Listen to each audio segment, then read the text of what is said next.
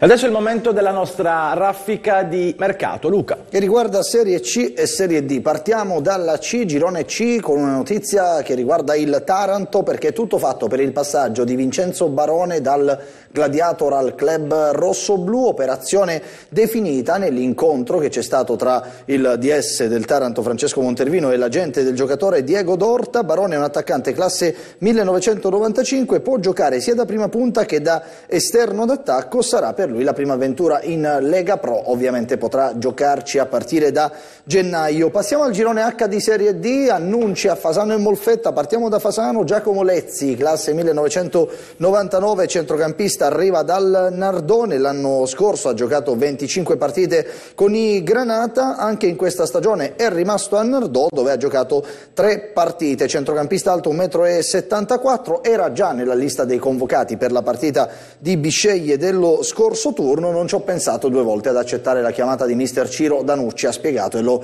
ritroverà dopo l'esperienza di Nardò. C'è un arrivo per la difesa a Molfetta, si tratta di Esteban Gabriel Giambuzzi, un difensore esterno destro 32enne, arriva dalla Virtus Matino con cui ha giocato sette partite mettendo a segno due reti. A un passo dall'accordo che dovrebbe arrivare nella giornata di giovedì con il Molfetta l'attaccante Giuseppe Genchi che nella prima parte di stagione è stato a Bitonto, sondato anche un altro nero-verde, l'esterno offensivo Vittorio Triarico, piace anche un altro attaccante Gaston Corado della Gelbison ex Taranto. Bitonto che compra, lo fa a centrocampo perché il principale obiettivo per la mediana è Bright Addae del Lavello, ex Ascoli in Serie B, un classe 1992. Il Cerignola pure guarda un altro gioiello del Lavello, Pablo Burzio, sondato anche dal Potenza in Serie C, il Lavello vorrebbe non cederlo. Team Altamura che va a caccia di un rinforzo in attacco, Gaetano Dammacco della Nocerina è il principale obiettivo, piace anche Ignazio Battista